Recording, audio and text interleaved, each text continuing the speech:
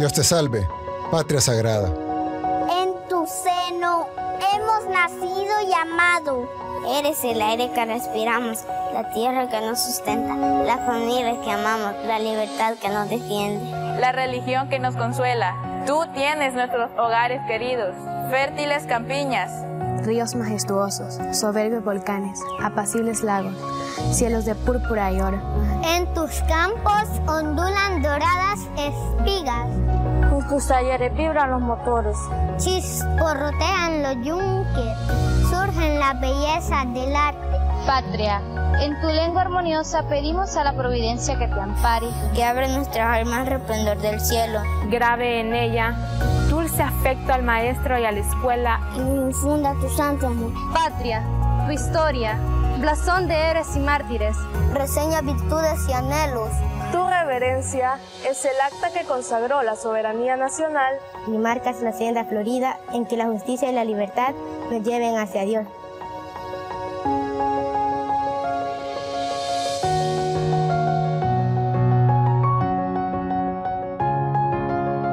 Para ti, el sol vivificante de nuestras glorias, los himnos del patriotismo, los laureles de los héroes. Mupan, Nexan, Tamatagik, Textechan, Juan, Nusehuawi, Ipan, Muxuntegu, Ipan, Degeman, Paniguelis.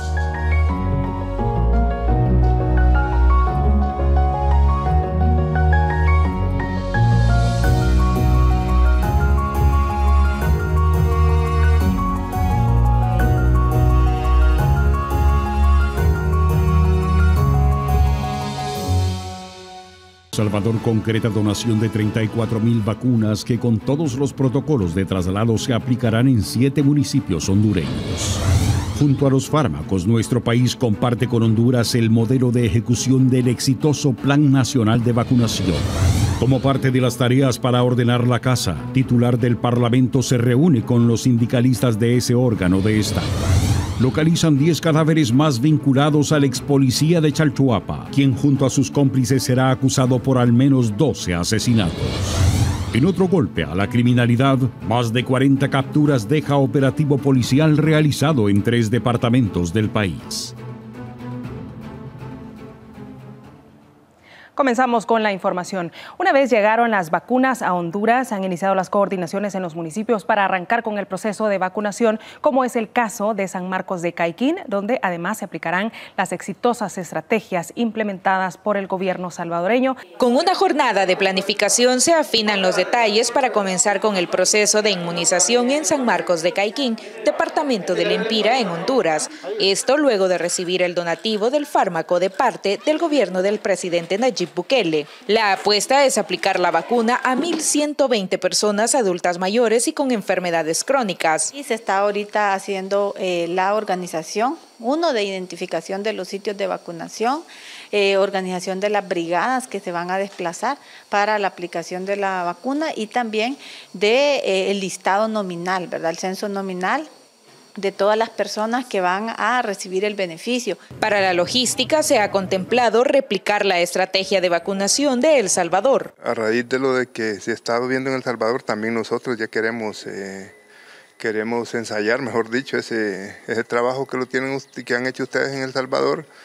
Y después de lo que hagamos aquí, los vamos a movilizar ya a las aldeas más grandes para, para no movilizar mucha gente para acá. De los eh, puntos de El Salvador que a nosotros a nivel de decisiones sanitarias nos ha llamado la atención en este ejercicio que estamos haciendo ahorita es el tema de, lo, de, la, de la mm, ubicación de los sitios de vacunación. Durante 2020 se contabilizaron solo dos fallecidos a causa del COVID-19, mientras que en el último mes se ha registrado una muerte por semana.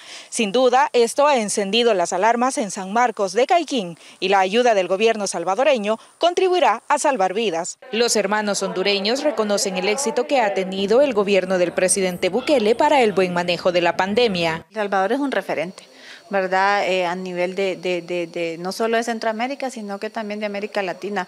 Eh, nosotros como hondureños, pues obviamente eh, hemos admirado esa parte, como parte, somos personal de salud y, obviamente los, las buenas prácticas las hemos estado observando y El Salvador es claro, un claro ejemplo de ello. El donativo de vacunas ya ha sido entregado a las autoridades gubernamentales de Honduras y uno de los municipios beneficiados es Cedros, lugar donde se encuentra nuestro otro enviado especial, Héctor Peñante, quien nos actualiza con la información. Como David y Este fue el ambiente de bienvenida al municipio de Cedros, con una oración y mucho agradecimiento. Cubrimos a Honduras, cubrimos a Cedros, amigo, con tu sangre preciosa, Padre. Ya en el interior de la ciudad, los habitantes con gran expectativa agradecían el donativo del gobierno salvadoreño. El municipio de Cedros es uno de los más antiguos de Honduras. Está ubicado entre las montañas del departamento Francisco Morazán. En su seno se instaló la primera asamblea constituyente del siglo antepasado y los rasgos coloniales de su infraestructura destacan. Dentro de sus habitantes está doña Vilma Suyapa, una maestra retirada. Aquí en Cedros ya tenían ustedes idea de cuándo por lo menos iba a haber vacuna. No, ni idea, ni idea, no, era remota. Era remota, ni sabíamos tampoco de que el, señor alcalde andaba solicitándola tampoco. fue una sorpresa. Una muy buena sorpresa. Muy buena sorpresa, sí. Y esto, como ustedes lo han visto, ha quedado inmortalizado no en Honduras, sino que en el mundo entero. Lo que el presidente Bukele hizo con ustedes, eso nadie lo va a poder superar. Lo van a querer imitar pero superarlo jamás. Se prevé que la vacunación inicie este sábado en horas de la mañana. Sin embargo, el proceso hoy depende de la Secretaría de Salud de Honduras. seguimos viendo esas manifestaciones de agradecimiento, de alegría y sobre todo eh, eh, de esperanza para todos los hermanos centroamericanos, hermanos hondureños que están recibiendo la vacuna y esta cooperación por parte de El Salvador. Y bien, es que la crisis sanitaria en Honduras derivada de la pandemia continúa siendo un tema de suma preocupación para la población de ese país, donde el total de fallecidos por el COVID-19 se acerca a los 5.900 y no hay ningún recuperado, según el más reciente informe del Sistema Nacional de Gestión de Riesgo. Los muertos siguen aumentando al igual que las personas contagiadas con COVID-19 en Honduras, uno de los países más rezagados en cuanto a la aplicación de la vacuna, según un informe de la OMS y la OPS que miden el número de vacunas por cada 100 habitantes. El reporte del Sistema Nacional de Gestión de Riesgos SINAGER señala que después de realizadas 4.766 pruebas de diagnóstico, 930 dieron positivo llegando al acumulado de 223.992 casos de COVID-19. En cuanto a las muertes por este virus ya suman 5.898 y lo más grave es que la cantidad de recuperados en la última jornada no reporta ningún caso. Las personas hospitalizadas son 1.072 de las cuales 562 se encuentran estables, 458 graves y 52 en la unidad de cuidados intensivos. Los departamentos de Francisco Morazán en el centro y Cortés en el norte siguen siendo los principales epicentros de la enfermedad. La inconformidad de la ciudadanía por la lentitud con que avanza la inmunización ante el alto nivel de contagios ha llevado a varios alcaldes a buscar el apoyo en países con mejores resultados en la planificación, adquisición y aplicación de la vacuna como en el caso de El Salvador, que recientemente donó 34 mil dosis. A El Salvador ha ingresado cerca de 2 millones de vacunas en 8 lotes y se han logrado aplicar cerca de 1.3 millones de dosis en menos de tres meses y se espera que en las próximas semanas inicie la llegada de los lotes que comprenden una compra de 4.4 millones de dosis de la farmacéutica Pfizer. En tanto, Honduras recibió este viernes su segundo lote de 40.000 dosis de la vacuna rusa, que se suman a las 6.000 que ya se han aplicado en una compra tardía de 4.2 millones de dosis para una población de 9.5 millones de habitantes. Daniel García, Noticiero El Salvador. La cooperación entre el gobierno de El Salvador con siete municipios de Honduras va más allá del donativo de 34 mil dosis del fármaco anti-COVID-19. El ministro Alaví informó que han puesto a disposición el modelo de ejecución del Plan Nacional de Vacunación que tanto éxito ha tenido acá en El Salvador. El donativo de 34 mil vacunas a siete municipios de Honduras no afecta el ritmo de vacunación en El Salvador informó el ministro de Salud Francisco Alaví, quien destacó que este jueves El Salvador alcanzó un nuevo récord de aplicación de dosis. De ayer mencionábamos cómo habíamos alcanzado una de las mayores cifras, que eran 53 mil dosis aplicadas. Consecuentemente, eso quiere decir que la estrategia está continuando con el ritmo importante. No han parado de venir los lotes, ustedes pudieron verificar. La logística implementada para el traslado del fármaco a Honduras aseguró que cada vacuna llegara en óptimas condiciones a su destino. El Ministerio de Salud adicionó camiones de respaldo de la cadena de frío en el convoy encargado de la distribución del fármaco. Este es un camión o una, una cadena de frío de respaldo por si existe un inconveniente en uno de los otros. Y no solo va el camión de respaldo, sino que va también técnicos para mantenimiento de todos los vehículos, técnicos para mantenimiento del sistema de cadena de frío. Esta capacidad de prevención y eficacia se debe a la experiencia obtenida en cada fase del manejo de la pandemia y en casi tres meses de iniciado el Plan Nacional de Vacunación. El hecho de aplicar 1.200.000 dosis pues, nos traduce una experiencia muy importante y nosotros se la hemos puesto a disposición para que ellos puedan practicar todo el modelo. El trabajo de El Salvador es reconocido a nivel internacional, siendo un país que aventaja en estrategias sanitarias a otros de la región. Lorena Martínez, Noticiero El Salvador. Mientras tanto, en nuestro país el proceso de inmunización no se detiene. A la fecha se contabilizan 1.260.574 dosis aplicadas en los 166 puntos de vacunación. Se incluyen el megacentro del Hospital El Salvador y los tres lugares de autovacunación. De ese total, 995.901 corresponden a la primera dosis y 264.673 a la segunda aplicación. El Salvador es líder en la región por el acelerado ritmo de inmunización de la población contra el COVID-19. El personal de salud destacado en el autoservicio ubicado en el centro comercial La Gran Vía aplica al día aproximadamente mil dosis anti-COVID-19. Al igual que este autoservicio hay otros dos, uno en Santa Ana y otro en San Miguel. Impulsado por su familia, así llegó al autoservicio Guillermo Hernández para iniciar con el proceso de inmunización. De mi esposa y mis hijos. Sin duda la motivación. ¿verdad? Sí, casi a la fuerza. Más que todo el proteger a, los que nos rodean, ¿verdad? A los que están cerca de nosotros. Eh, soy persona que anda en la calle y debemos de protegernos y proteger sobre todo a los que están cerca. Al igual que ellos, encontramos a motociclistas en el autoservicio de la Gran Vía. En este lugar se les aplica la dosis anti-COVID-19 a más de mil personas por día. Pues me parece que ha sido excelente y estamos muy agradecidos con todo el esfuerzo que han hecho para podernos facilitar la vacuna. La apuesta del gobierno con la instalación de los tres autoservicios es que más salvadoreños puedan recibir la vacuna y la población respalda este esfuerzo. Y se ve que están haciendo todo para tener, para que nosotros salgamos adelante porque es el país que estamos mejor en esto de la, de la pandemia. Es lo máximo, sí, es lo máximo que han puesto, sí. Les agradecemos y de mi parte muchísimas gracias. Recuerde, si usted ya es apto para recibir la dosis contra la COVID-19 y quiere también ser parte de esta modalidad de autoservicio, puede ingresar al sitio web vacunacioncovid19.gov.sb y elegir esta modalidad. Claudia Chicas, Noticiero El Salvador.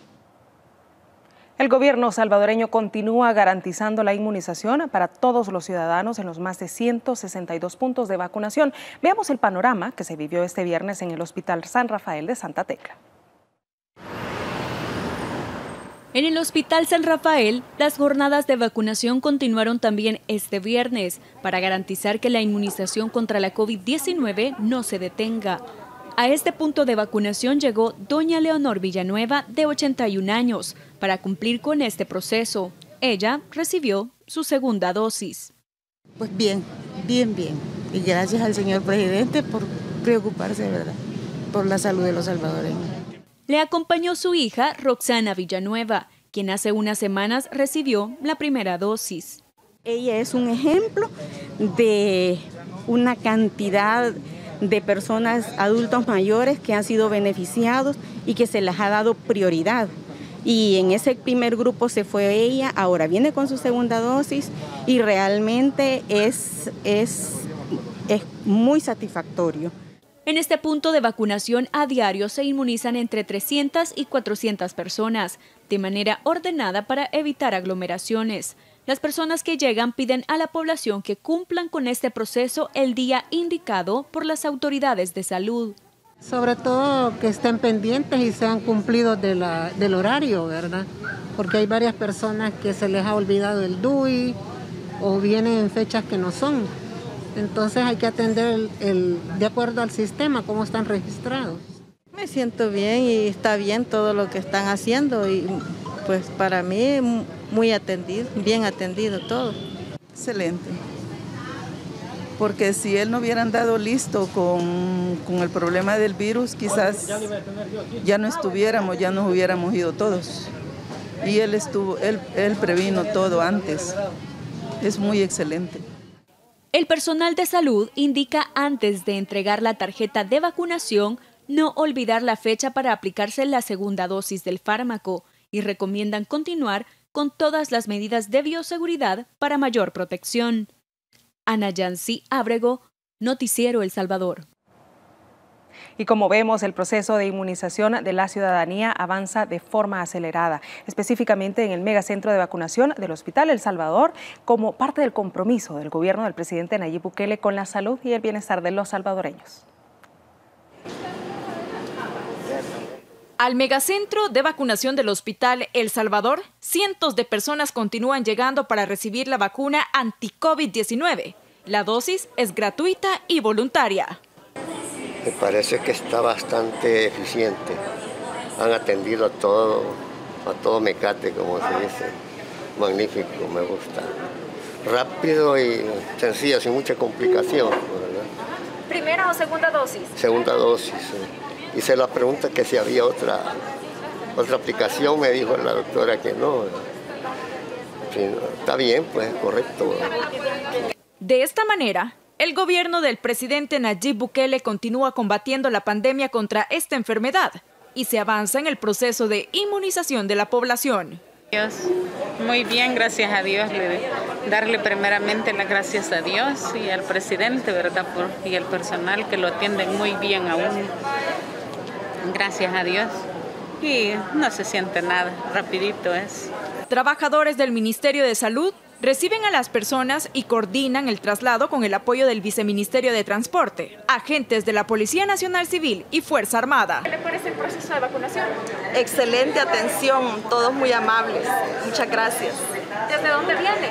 Eh, de Santa Tecla el llamado a la población a vacunarse. Ah, que invitamos a todas las personas a que se vengan a vacunar, que no da ningún, a mí no me ha dado ningún efecto secundario, gracias a Dios. Todas las medidas de prevención implementadas por el gobierno han sido acertadas y han evitado la multiplicación de los casos confirmados. El Salvador se mantiene con la menor cantidad de contagios y letalidades en Centroamérica. El presidente de la Asamblea Legislativa, Ernesto Castro, llegó al megacentro de vacunación del Hospital El Salvador, donde recibió su primera dosis de la vacuna contra el COVID-19. El titular del legislativo destacó la agilidad del proceso e hizo un llamado a la ciudadanía a vacunarse. Me acaban de eh, de vacunar la primera dosis, eh, sorprendido la verdad por la organización que tienen, eh, la rapidez, la amabilidad con lo que la, atienden a, todo el público en general. No hay una tan sola cola, yo esperaba de, encontrarme alguna, alguna cola, alguna fila de por lo menos cinco personas, pero no hay ni, ni una tan sola cola, es muy ordenado todo. Y ya vimos los esfuerzos en cuanto a la vacunación, pero veamos también que el trabajo territorial no se detiene. Este viernes las cabinas para realizar las pruebas de COVID-19 fueron instaladas en el municipio de Chiltepán, en el Departamento de la Libertad y también en la Universidad Nueva San Salvador. A la fecha, el gobierno ha realizado 946.627 pruebas para detectar el virus a las personas a las que se le detecta la enfermedad. Se les da asistencia médica para prevenir más contagios. Es importante que la población no baje la guardia y continúe con las medidas de bioseguridad. Le cuento que estudiantes de la Libertad recibieron a través del Ministerio de Educación, Ciencia y Tecnología sus computadoras. Con la entrega de esa herramienta y sus componentes como Internet y otros programas educativos, el gobierno busca reducir la brecha digital en la comunidad educativa. Quedó sin padres desde los cinco años, pero trabaja para pagarse los estudios y ahora a sus 20 años sueña con estudiar en la universidad una ingeniería civil. Asegura que la computadora que le entregó el Ministerio de Educación es la herramienta que necesitaba para seguir avanzando académicamente. Esto me puede servir en un futuro también para cuando termine mi bachillerato en la universidad, para que pues, me pueda superar. Al igual que él, 482 estudiantes del Departamento de la Libertad recibieron una computadora que tiene instalado Internet y programas educativos. Bueno, al menos yo no tengo computadora y me sirve para el estudio. Y pues ahí puedo hacer muchas cosas de informática que no he podido hacer. Yo me alegro porque yo no podía, no tenía cómo comprársela. Y ahora ya gracias a Dios se la han donado a ella. Fue gran ayuda que me la dieran porque así estaba entregándolas por teléfono, entonces siento que así voy a entregarlas más rápido. Porque antes los que estudiaban pues les costaba porque a pura inteligencia de ellos hacían todo. Y hoy pues con esta ayuda pues yo pienso de que ellos pueden estar, pueden estar mejor. Cerca de 500 computadoras han sido entregadas a estudiantes de ocho centros educativos del Departamento de la Libertad. Con esto, el presidente de la República, Nayib Bukele, continúa su apuesta por la reducción de la brecha digital en los estudiantes del país. Claudia Chicas, Noticiero El Salvador. El presidente de la Asamblea Legislativa sostuvo un primer encuentro con trabajadores organizados, abriendo así un canal de comunicación y garantizando la estabilidad laboral para los empleados de la institución con quienes ya se han establecido algunos acuerdos. El presidente del Congreso, Ernesto Castro, destacó que han sido 7.1 millones de dólares los que han sido eliminados a las fracciones y que ahora se ejecutarán en beneficio de las guarderías para los empleados.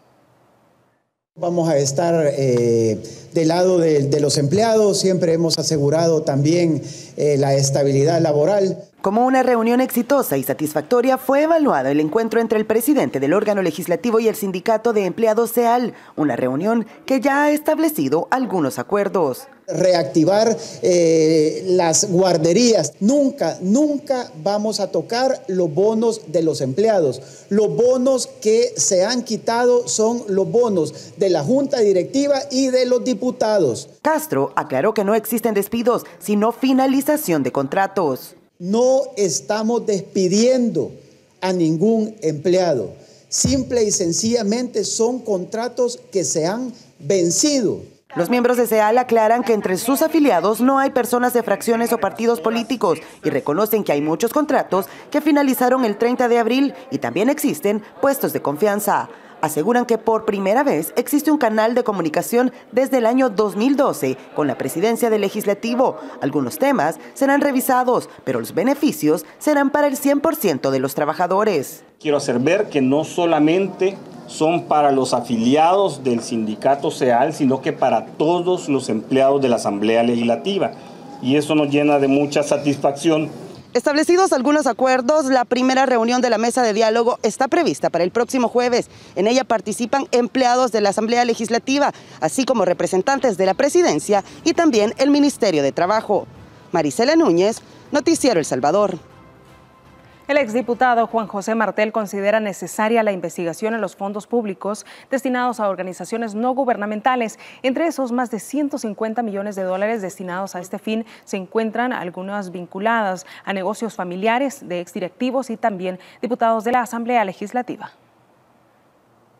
Que ya debe de cortarse eso de inmediato y para todas tienen que presentar un informe completo, debe de haber una auditoría a fondo para determinar cómo han gastado los recursos públicos. Se debe de acabar la historia de entregar dinero que no se sabe en qué se gasta y para dónde va. Y este viernes las comisiones legislativas continuaron con la dinámica de enviar al archivo todos los expedientes que los diputados salientes no analizaron. Con esa medida, los parlamentarios entrantes buscan iniciar de cero el estudio de leyes y reformas en beneficio del país. Las comisiones de la nueva Asamblea Legislativa limpiaron la mesa de trabajo.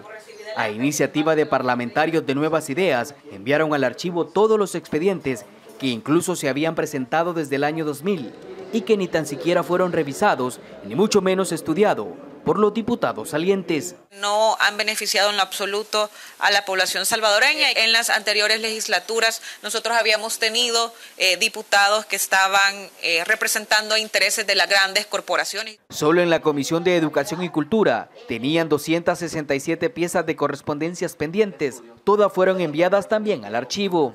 Tenemos iniciativas que datan desde el año 2000, 2001, que han perdido validez. No estamos para quedarnos estancados en algo que sucedió en el año 2000, 2005, 2010. Estamos para trabajar y construir algo nuevo. La decisión causó incomodidad en diputados de los partidos tradicionales, Arena y FMLN. No voy a defender que algunas pueden ser que ya perdieron vigencia, sí, que ya no responden a la necesidad o fueron solventadas con otras iniciativas, sí, pero hay muchas que no. Hay varios pronunciamientos públicos y temas así que la verdad es que no vale la pena tenerlos, pero sí hay leyes completas que podrían mantenerse dentro de la comisión y seguirse el estudio. Esas posturas llamaron la atención de la bancada CIAN, porque ahora los partidos tradicionales sí muestran interés de legislar. Venir a hablar ahora de los derechos de las personas cuando tuvieron cuántas legislaturas para hacerlo creo que me parece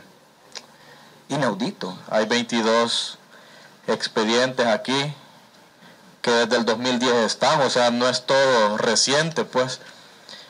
Y el más reciente tiene casi seis meses de estar aquí, entonces la pregunta es, ¿y qué han hecho, pues? Para la próxima semana, algunas comisiones convocaron a representantes de distintos sectores de la sociedad para que brinden su aporte en temas que abonen al desarrollo del país. Edgar Jurado, Noticiero El Salvador. Y en otro tema, el Ministerio Público presentó nuevas acusaciones en contra de nueve personas vinculadas al caso del ex agente de la PNC, Hugo Ernesto Osorio Chávez, capturado y procesado por un doble feminicidio en Chalchuapa, Santa Ana. La Fiscalía General de la República presentó nuevas acusaciones en contra de nueve imputados, presuntos cómplices del ex agente de la Policía Nacional Civil, Hugo Ernesto Osorio Chávez capturado y procesado por el feminicidio de una madre y su hija cometidos en Chalchuapa, Santa Ana. Así lo confirmó el jefe de la unidad antihomicidios, Max Muñoz. Responden en diferentes participaciones, ya sea como autores, instigadores y cómplices, en la comisión de estos 13 casos. Ocho casos eh, de feminicidios agravados, en donde resalta eh, una niña de 7 años, y cinco homicidios agravados, donde también resaltan eh, un menor de 9 y 2 años de edad. La hipótesis fiscal lo señala de participar en 13 casos, 8 feminicidios y 5 homicidios agravados. Entre las víctimas hay tres menores de 9, 7 y 2 años de edad. Ninguno no están identificados como pandilleros, eh, son personas también del sector eh, que pues cometieron estos hechos eh, tan reprochables y pues también están vinculados a los cadáveres que hoy por hoy eh, nuestros equipos de criminalistas se encuentran exhumando de la casa en la jurisdicción de Chalchuapa. Gabriela Sagastume, coordinadora nacional de la mujer de la Fiscalía, no descarta que existan más osamentas. Tenemos al criminalista trabajando todavía, eh, la Policía Nacional Civil, eh, el área de la División Central de Investigaciones, que es quien está apoyando en la investigación, sigue realizando diligencias. El requerimiento será presentado el próximo lunes en los juzgados de paz de Chalchuapa caso bastante complejo, lo hemos manifestado en otras circunstancias, eh, investigativamente, técnicamente ha sido extenuante el trabajo que ha hecho tanto la policía como la fiscalía para poder dar respuesta a esta víctima. En la casa de Chalchuapa además se han encontrado documentos que podrían ser de algunas víctimas, así como ropa interior y otras prendas de uso femenino. En las últimas horas, la Policía Nacional Civil, en un esfuerzo con la Fiscalía General de la República, nuevamente asestaron un duro golpe a estructuras criminales que, operaban en 10 municipios de tres departamentos del país. La madrugada de este viernes, la Policía Nacional Civil ejecutó el operativo denominado El Bálsamo, un esfuerzo conjunto con la Fiscalía General de la República que dejó como resultado la captura de decenas de miembros de la Mara Salvatrucha que operaban en los municipios de Nejapa, Santa Tecla, Colón, Talnique, Zacacoyo, Tepecoyo Coatepeque, Ciudad Arce, El Congo y Candelaria de la Frontera. Hemos realizado un aproximado de unos 38 allanamientos eh, y tenemos un alrededor de 47 capturas entre eh, intimaciones y personas que ya fue efectiva la orden de captura. Es importante recalcar que estas estructuras pues, están dedicadas a diferentes tipos de delitos y los cuales pues, este, van a ser puestas en las próximas horas. De hecho, hay capturas de cabecillas importantes en las cuales se han capturado en el sector de Santa Tecla, Ciudad Arce y Nejapa. Eh, con esto, pues también se impacta las estructuras delincuenciales. Además, con estas acciones se contribuye a la resolución de 50 casos de delitos como extorsiones, proposiciones y conspiraciones en el delito de homicidio, tráfico ilícito y agrupaciones ilícitas, entre otros. Con esta investigación eh, estamos impactando a las diferentes clicas del programa Libertad, en el cual vamos a dar un poco de tranquilidad pues a lo que es la población a efecto de que eh, se logre llevar a la justicia a, estos, a estas personas que han sido capturadas. En el operativo se logró la incautación de drogas, armas, dinero proveniente de ilícitos, teléfonos celulares, entre otros, Cabe destacar que de esta estructura ya se habían capturado a otros miembros como el cabecilla Juan Miguel Chávez por el delito de tráfico de armas. A esta estructura, en ese proceso investigativo ya se le había decomisado en alrededor de 18 medios de movilidad entre vehículos, motocicletas. Hubo una gran cantidad también de droga, más de 16 mil kilogramos este, eh, de marihuana, ¿verdad? Eh, valorada en más de 14 mil dólares. Las investigaciones sobre estos sujetos se realiza desde julio del año pasado y ha permitido evitar una gran cantidad de víctimas que habrían sido privadas de libertad y posteriormente asesinadas, por lo que es una clara respuesta al flagelo de las desapariciones en todo el país, explicaron las autoridades. Daniel García, Noticiero El Salvador. La expresentadora de televisión Regina Cañas, conocida como la tía Bubu, tendrá que asistir el lunes próximo al juzgado quinto de vigilancia penitenciaria para conocer en detalle las implicaciones legales que acarrearía el incumplimiento de su sentencia, en la que se le ordena realizar 148 jornadas laborales de utilidad pública en sustitución a la pena de tres años de prisión. Cañas fue sentenciada tras haber confesado el encubrimiento de la entrega de 95 mil dólares del expresidente, ahora prófugo y nacionalizado nicaragüense Mauricio Funes a su hijo Diego Funes Cañas para financiar un negocio de compra y venta de vehículos y que provenían de los 351 millones que el exmandatario habría malversado según la acusación fiscal. En otra información, una mujer en estado de embarazo y un menor de edad resultaron con quemaduras luego de un incendio dentro de su casa de habitación en Santa Ana. Autoridades que conforman el Sistema Nacional de Protección Civil y de la municipalidad llegaron a la zona para brindar apoyo y asistencia a la familia afectada. Cuerpo de bomberos, protección civil y representantes de la alcaldía de Santa Ana se hicieron presentes a la vivienda afectada por el incendio provocado por residuos de pólvora en el cantón El Ranchador en Santa Ana. Confirmar, a obtener mayores entrevistas de lo sucedido, ya que fuego no, no fuimos informados en el momento, las mismas personas lo controlaron. Entonces la idea es eso, percatarnos de primera mano y ampliar la información de lo que ya obtuvimos anoche. Según la versión de la familia, los residuos de mechas los habían dejado olvidados en el dormitorio de Patricia Ayala, de 28 años, quien se encuentra en estado de embarazo y quien también es madre del menor que sufrió quemaduras graves. Dijeron que hasta el año pasado trabajaron con productos pirotécnicos porque aseguran que luego de la explosión en una cohetería que cobró la vida de dos menores de edad, decidieron dedicarse a la venta de pan. Lo que me tocó hacer es enfrentar, ¿verdad? El, el, temor y a la vez el amor a la, a la, familia, ¿verdad? Y me atreví a meterme, ¿verdad? Al cuarto y, tratar de auxiliarlos, pues, y gracias a Dios logré eh, ayudar a los dos, ¿verdad? Porque a los dos los logré sacar. Saqué primero a la, a la más grande y después saqué al, al, al bebé, ¿verdad? Yo iba a vender pan, o sea que eso es lo que hago. Empecé a vender pan, hasta hoy en día vendo pan, ¿verdad? Y este y mis hijos pues trabajan, son este jornaleros, y así pues logramos sobrevivir. La pronta respuesta y el trabajo articulado de las autoridades de gobierno y municipal lleva un poco de alivio a la familia, ya que recibirán ayuda material y alimentaria por parte del alcalde Gustavo Acevedo. Estamos trabajando en conjunto con todas las instituciones del gobierno le damos las gracias al gobierno por estar apoyando eh, este tipo de causas también, ¿verdad? Como alcaldía municipal estamos para brindarle ayuda a la población en cuanto a víveres, en cuanto a colchonetas, en cuanto al tipo de, de ayuda que le podamos brindar para que la población pueda salir adelante. Representantes de salud también se encuentran colaborando con la asistencia a la familia y según informaron el estado de salud de las víctimas es delicado. La madre presenta un 50% de quemaduras en su cuerpo, mientras que el menor de edad el 75%. Ana Yancy Ábrego, Noticiero El Salvador. La ministra de Economía destaca la recuperación de los empleos afectados por la pandemia y el incremento del mercado laboral.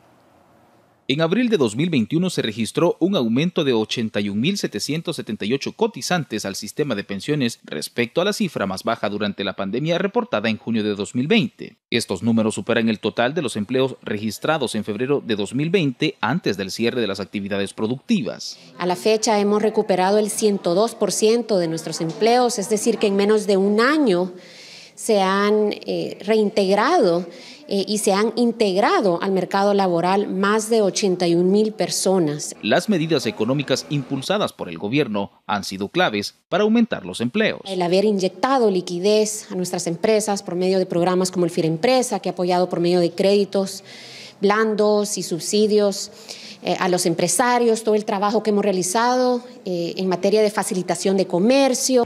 La crisis sanitaria afectó a la mayoría de los sectores productivos, a excepción del farmacéutico y de alimentos que lograron superar las exportaciones. Este año, otros sectores se suman a la lista de recuperación económica. Vemos el sector textil eh, bastante recuperado y sectores eh, como el de centros de llamadas. La ministra de Economía detalló que se reporta un aumento en las exportaciones e inversiones y se trabaja en simplificar procesos y trámites para facilitar el crecimiento de los empleos, además de ofrecer a los empresarios locales e internacionales incentivos que permitan seguir mejorando las capacidades económicas del país. Con información de Lorena Martínez, Daniel García, Noticiero El Salvador. La ministra de Economía, María Luisa Ayem, acompañó el inicio de las operaciones de la plataforma de comercio electrónico de la empresa Muebles Posada, empresa que en la pandemia corrió el riesgo de disminuir operaciones debido a la forma tradicional de comercialización. Gracias al apoyo del Ministerio de Economía, logró posicionarse en plataformas digitales por medio del programa EPIME. Ahora la empresa cuenta con diseño, desarrollo de sitio web, catálogo de productos y pago en línea. Además, se les capacitó para ejecutar campañas de marketing digital. La titular de esa cartera invitó a las pequeñas, medianas y grandes empresas a participar de los programas de los que dispone el MINEC. Abierto las puertas, hemos llegado a más lugares, eh, se han incrementado nuestras ventas, ¿verdad? La producción ha sido mayor, hemos logrado incrementar también los empleos. Eh, pues nos hemos visualizado. Hacer uso de todos los recursos eh, que se han puesto a disposición de, ustedes, de, los empresarios, eh, para poder diversificar su producción, para poder exportar, para poder insertarse al comercio electrónico.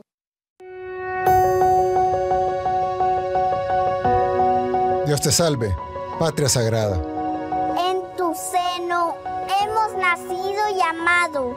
Eres el aire que respiramos, la tierra que nos sustenta, la familia que amamos, la libertad que nos defiende. La religión que nos consuela. Tú tienes nuestros hogares queridos, fértiles campiñas. Ríos majestuosos, soberbios volcanes, apacibles lagos, cielos de púrpura y oro. En tus campos ondulan doradas espigas tus talleres vibran los motores. Chisporrotean los yunques. Surgen las bellezas del arte. Patria, en tu lengua armoniosa pedimos a la providencia que te ampare. Que abre nuestras almas al resplandor del cielo. Grave en ella dulce afecto al maestro y a la escuela. Y infunda tu santo amor. Patria, tu historia blasón de héroes y mártires. Reseña virtudes y anhelos. Tu reverencia es el acta que consagró la soberanía nacional y marcas la senda florida en que la justicia y la libertad nos lleven hacia Dios.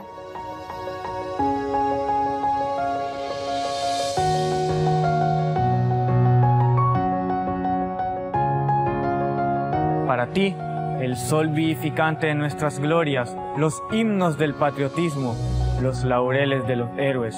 Mupan, Tamatagik, Textechan, Juan, Nusewawi, Ipan, Muxuntegu, Ipan, Degeman, Paniguelis.